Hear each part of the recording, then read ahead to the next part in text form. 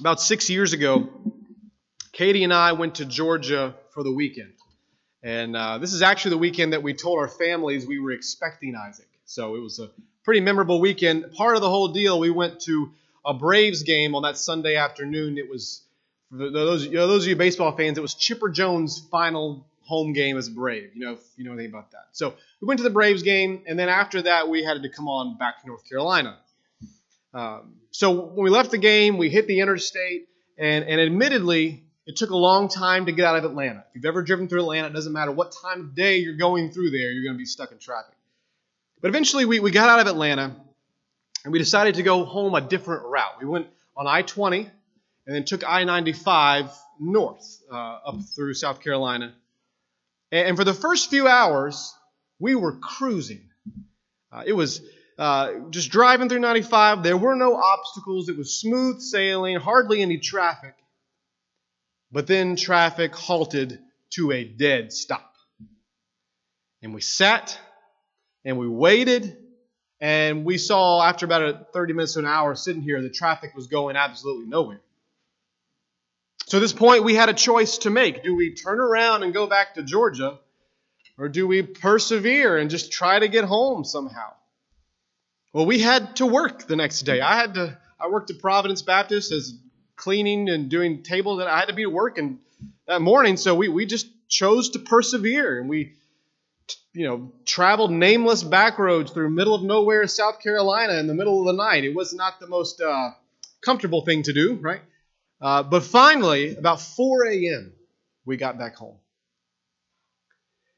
Now, think about that road trip. I'm sure you've got stories like that too, where you're trying to get home and there's an obstacle or something. I think following Jesus is kind of like that road trip. Some days the path is easy. We're cruising along. There are no obstacles. It's smooth sailing, no traffic.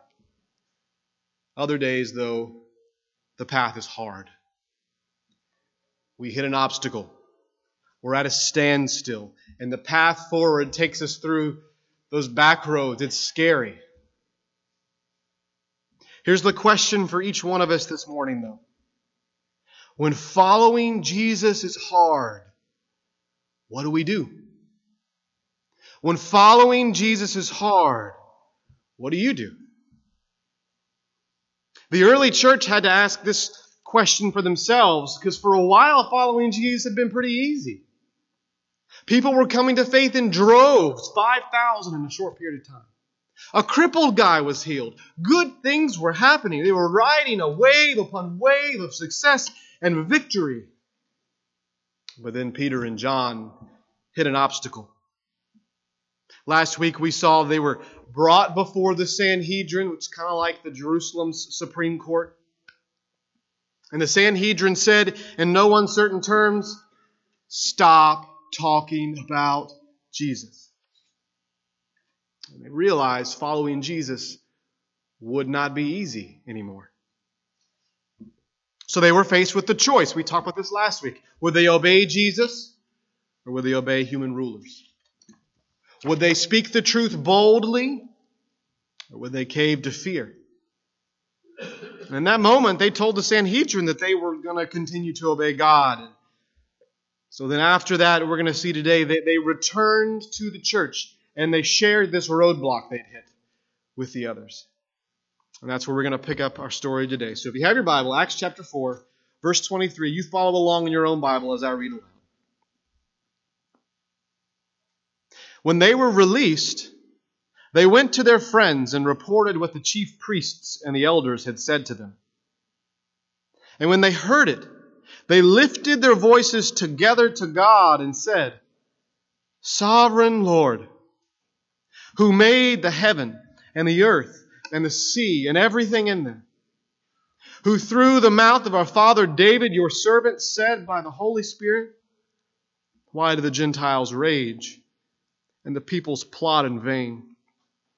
The kings of the earth set themselves, and the rulers were gathered together against the Lord and against his anointed.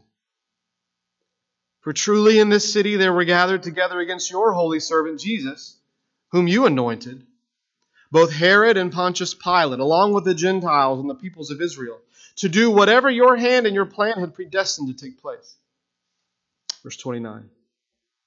And now, Lord, look upon their threats and grant to your servants to continue to speak your word with all boldness. While you stretch out your hand to heal, and signs and wonders are performed through the name of your holy servant Jesus. And when they had prayed, the place in which they gathered together was shaken. And they were all filled with the Holy Spirit and continued to speak the word of God with boldness. In this passage, we're going to look at what these Christians did when following Jesus was hard, and it's three things that we can do as well. First, if you're taking notes, you can write this down. First, when following Jesus is hard, we can remember God's character. We can remember God's character. When faced with this obstacle, these Christians did what they always did they gathered to pray. They flocked together to pray to God with God's people. And as they huddled together, they began their prayer in this way. Verse 24, they said, Sovereign Lord, who made the heaven and the earth and the sea and everything in them. In other words, in this prayer, they're beginning by choosing to remember God's character. They, they say two things. They, they remember who God is, sovereign Lord. The original language, this is, this is one word that means basically a, ruler with absolute power and authority.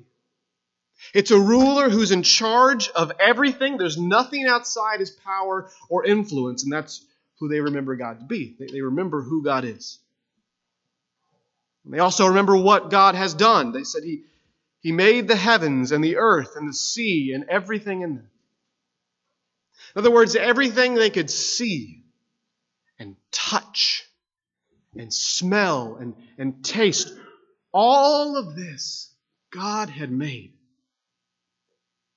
And when they remembered God's character in this way, who He was, what He'd done, it put their problems into perspective.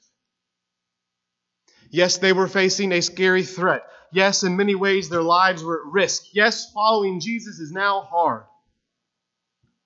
But they who worshiped the God who was far, far greater than the Sanhedrin. The Sanhedrin just a couple of guys in a in a semicircle. God is the one who made everything. God is the one who sustains everything. Commentator John Phillips puts it this way. He says the threats of the Sanhedrin were, he says, quote, rather like a two-year-old with a plastic hammer threatening the village blacksmith. That's what it's like. When, and when following Jesus is hard for us, we remember some ways our, our problems are like the two-year-old with the plastic hammer. Jesus is the village blacksmith. He is powerful. He deserves our trust. And if we let it, this truth can calm our fears. Now, I like to come to you and act like I've got this all figured out, that I don't have fears anymore, but, but I don't have it all figured out. Uh, there are times when I am fearful. There are times when I have these fears and these questions, and honestly, as a parent to kids, when you see your kids go through stuff, these fears are real. And so, this is why I need to pray in this way. We need to pray in this way. We recite these truths to ourselves not because we have it all figured out, but because we need to remind ourselves. Yes, God is in control. We remind ourselves, I may not feel like it, it may not be easy, but I believe God is in control. Because when we feel powerless, we can remember He's all powerful. When we don't feel like we have control over anything, we remember He controls all of creation. And of course, this doesn't mean that all our stories have happy endings because we're going to see a couple chapters later in, in Acts that some of Jesus' followers suffer and die for their faith. Today we look around the world and we see followers of Jesus who suffer and die for their faith still. So even though it doesn't mean we're always going to have a happy ending, it does mean that when hard times come, when following Jesus is hard, we can remember and be comforted by the fact that God is in control. And God does sustain everything. So we remember God's character. Number two, when following Jesus is hard, we can recite God's word. So, first, we remember God's character. Secondly, we recite God's word. Look again at verse 25. It says, Who through the mouth of our father David, your servant, said by the Holy Spirit, Why do the Gentiles rage and the peoples plot in vain? The kings of the earth set themselves, and the rulers were gathered together against the Lord and against his anointed. For truly in this city there were gathered together against your holy servant Jesus, whom you anointed, both Herod and Pontius Pilate, along with the Gentiles and the peoples of Israel, to do whatever your hand and your plan had predestined to take place. Second thing they do in this prayer is they recite God's word. In particular, they quote here a section from Psalm chapter 2. If you know anything about Psalm chapter 2, it's a, it's a punchy, powerful little psalm in, in which King David kind of recites to God and acknowledges the obstacles and the sufferings he was facing. And if you go back, we actually studied that passage back around Easter last year. Go to our website and listen to a message on Psalm 2. Now, these early believers, when they read Psalm 2, they saw David in there, but they also saw this was, in a sense, the foreshadow of Jesus. See, Jesus Christ also faced opposition from all corners. Right? This is about David facing opposition. Jesus also faced opposition. They note here from, from Herod, king of the Jews, who mocked Jesus, and from Pontius Pilate, right? A leader of the Gentiles who murdered Jesus. In other words, they're saying Jesus also faced opposition from Jews, from Gentiles, from every corner. Now, now Jesus' followers were beginning to feel that same heat too. Following Jesus was getting hard. Now, if they were to stop here at this point in Psalm 2, that would be a pretty discouraging thing to remind yourself about.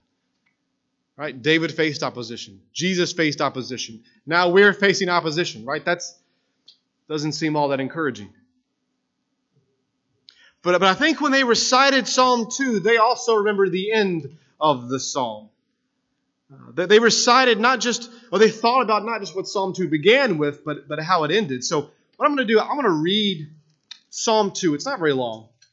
Read Psalm 2 to you, the whole thing, so you can experience not just the beginning, the bad part, but the end, the good part. So, listen to, to this as I read this to you. Why do the nations rage and the peoples plot in vain?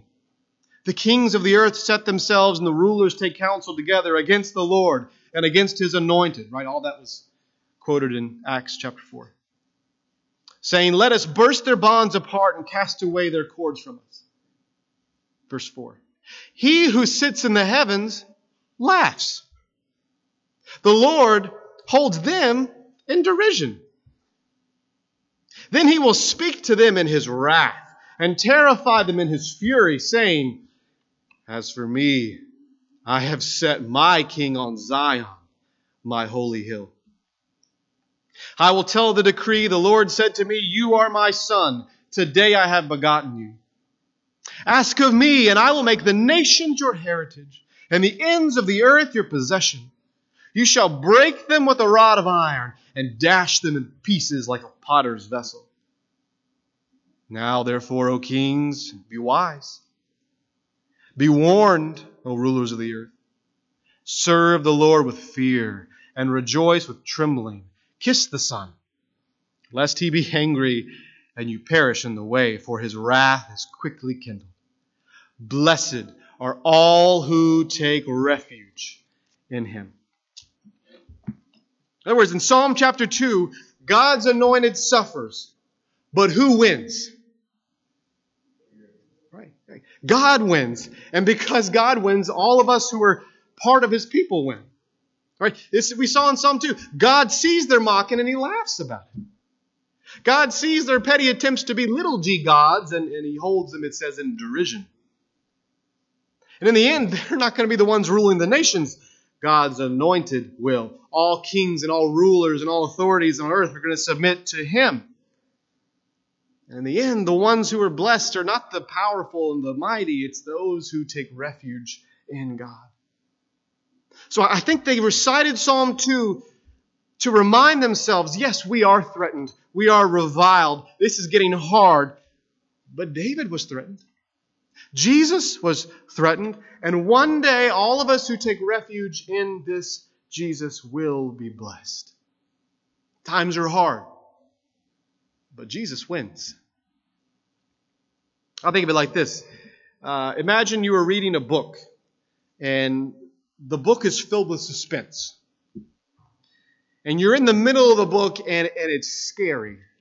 You don't know how it's going to turn out. Um, you're not sure how the good guy is going to win, right? This does not seem like a hopeful book. So, what do you do in that moment when you're reading the book and it seems scary? Flip, flip to the very end, right? And you skim the last couple pages and you feel a sense of relief, right? Because, because you know the end of the story. You know that the good guy wins, the bad guy loses. And the same is true here. We're stuck in the middle of the story. Sometimes it's scary. Sometimes we're not sure how it's all going to turn out. But God gives us the last few pages. God shows us what happens in the end, and He shows us that in the end, who wins? Jesus. And all of a sudden, when we think about this, we think about the end of the story, we don't have to be as worried anymore because we know the end of the story. And I don't know what it is you're going through right now. Maybe you're dealing with immense suffering and you want to give up. Maybe you're wrestling with a deep sin struggle and you want to give in. Or maybe you're just weary. You're just tired. And you don't have enough energy to know what exactly it is that you want or what you need. But the point is, you're stuck in the middle of the story. You don't know how it's going to turn out. Remember God's word. Remember the end of the story. Times may be tough now, but one day we believe Jesus wins. And if we take refuge in Him now, one day we will be blessed. Let's cling tightly to this truth to this hope. And so we can remember God's character. We can recite God's word. Third, when following Jesus is hard, we can also request God's boldness. Request God's boldness. Look again at verse 29. And now, Lord, look upon their threats and grant to your servants to continue to speak your word with all boldness, while you stretch out your hand to heal, and signs and wonders are performed through the name of your holy servant Jesus.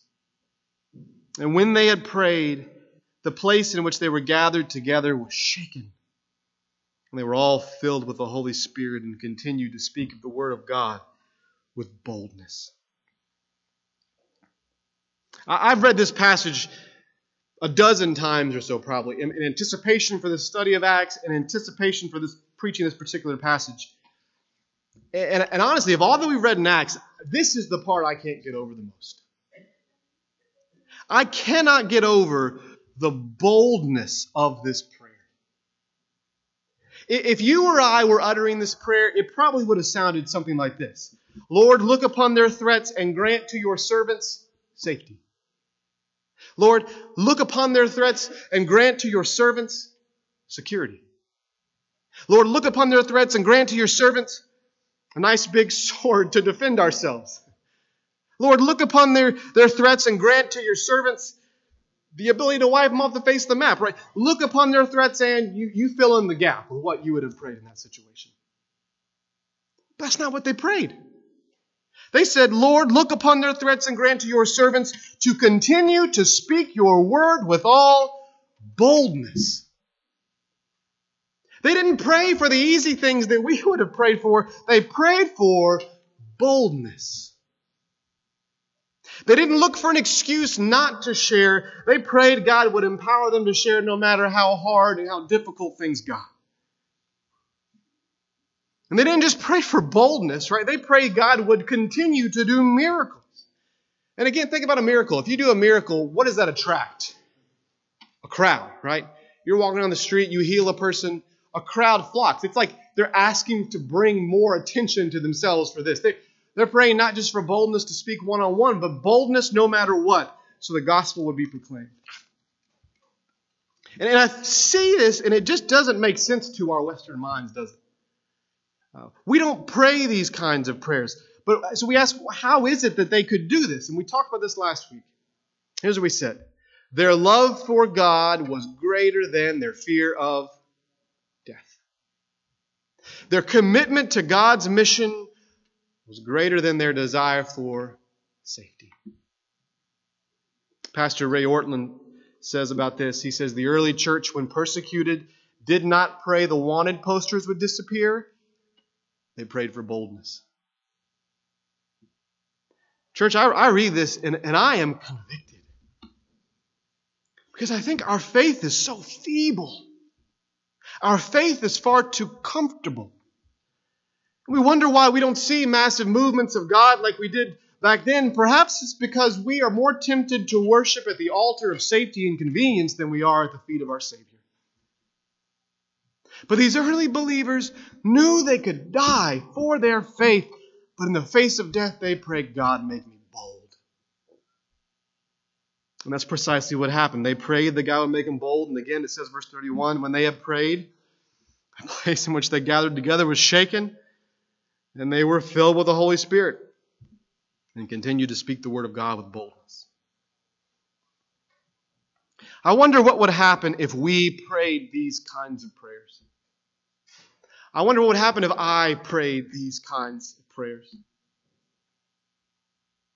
What would happen if we prayed, Lord, please alleviate this suffering, but if you choose not to, glorify your name? We prayed, Lord, please provide and protect, but if you choose not to, glorify your name. We prayed, Lord, open doors for me to share the gospel, and when you do, make me bold. And at a minimum, I think if we pray these kinds of prayers, we would at least be more aware of opportunities God does give us to be bold. I think these opportunities are there every single day, but we're, we're, we're blind. I'm blind. We miss them.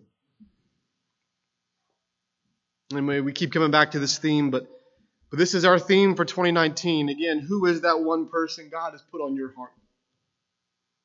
Um, would you pray today God would make you bold for that person? We got these flyers, right? I don't know where mine went, but you got the flyer. Would you pray God to make you bold to give that flyer to someone? And pray that that would just be the starting point for your uh, involvement with this person and seeing them come to faith. And maybe you're thinking this morning, look, Nathaniel, I, I could never be this bold. You don't understand. I, I'm too fearful. I'm not good at public speaking. I, I don't know what to say. I'm going to jumble everything up and it's not going to make any sense.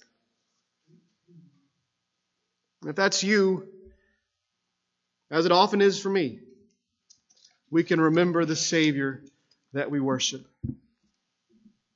Think about what Jesus did for us. Jesus willingly laid down his life so you and I could be saved from eternal hell and judgment if we turn and trust in him. And if you turn from your sins and trust in him, you have been saved from eternal hell and judgment at the costly, costly price of his blood. Jesus died for us.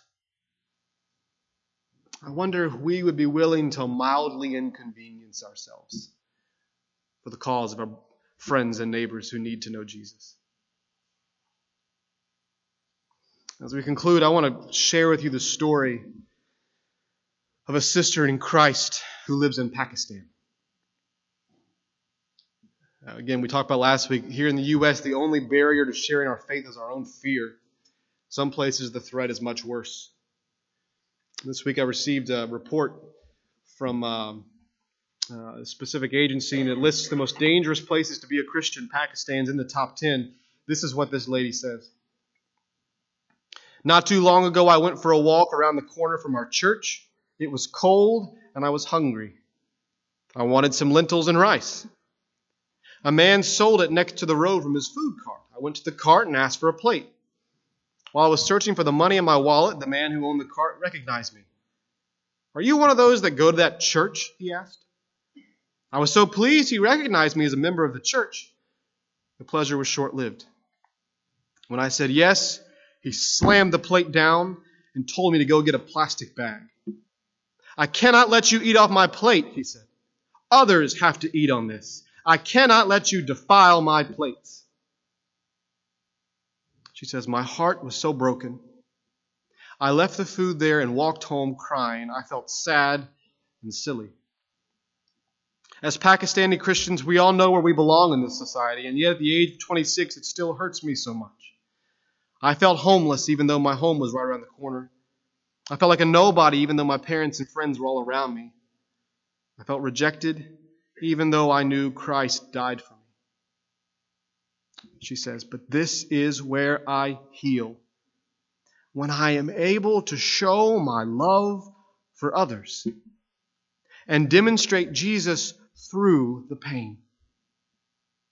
Please pray we will continue to reach out to the rejected, the dispossessed, and the lonely. This is the story of nearly 15 million people who were called Christians in Pakistan. I am my, their story. They are my story. Thanks to your prayers and support, she says, you are part of our story. Let's pray our sister would be bold. And let's pray we would be bold too. Sometimes in our Christian life, we hit an obstacle. Sometimes following Jesus is hard. It may not be as hard as it is for this sister but we hit those barriers. When those times come, let's remember God's character. God is in control. When those times come, let's recite God's word. We know the end of the story. Jesus wins. When those times come, let's pray God would turn us from fearful people into bold people so we could see our community come to faith in Christ. As we conclude, I'm going to pray, and I pray that whatever the, the Holy Spirit is doing in your own heart and life, that He would convict us all and draw us to Himself. Let's pray. Father, I come to you this morning convicted of my own fears, convicted of my own complacency convicted of my own desire for safety and comfort above the call to, to, to be engaged in your mission.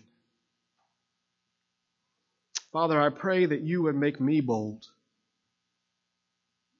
I pray that you would help us all to remember the end of the story, to remember that you, God, are in control of all things, and to remember that we worship a Jesus who laid his own life on the line for us, may we be so bold as to lay our lives on the line for others.